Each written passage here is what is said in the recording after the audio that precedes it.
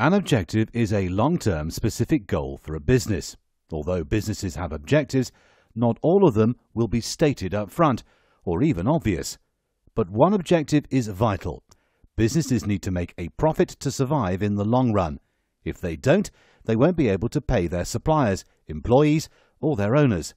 But they rarely aim to maximize their profits, and that's very true of new businesses.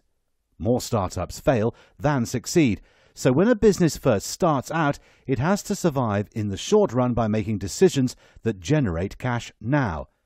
This means an immediate focus on current survival, putting on hold more profitable projects for the future. Cash flow determines what is available to the business on a day to day basis to pay their bills. Failure to pay might lead to problems with supply, staff leaving because they're not being paid, or in the worst case scenario, going out of business. Banks and the taxman can force the business to go into administration if they are not paid on time. Most businesses want to grow. That can lead to greater profitability through lower cost per unit or being able to have more control of the market. Some owners prefer to stay the same size because becoming larger may carry greater responsibility and, with that, possibly more stress. Many businesses have stated or unstated social and ethical objectives. Although these objectives may have some positive effect on profits, they are normally in place because the business owners and managers believe they have an obligation to a wider society.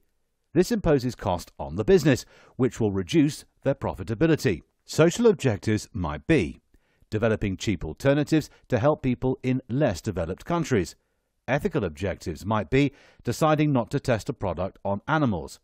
Businesses can exist to achieve all of these objectives, even though they might be in conflict with each other.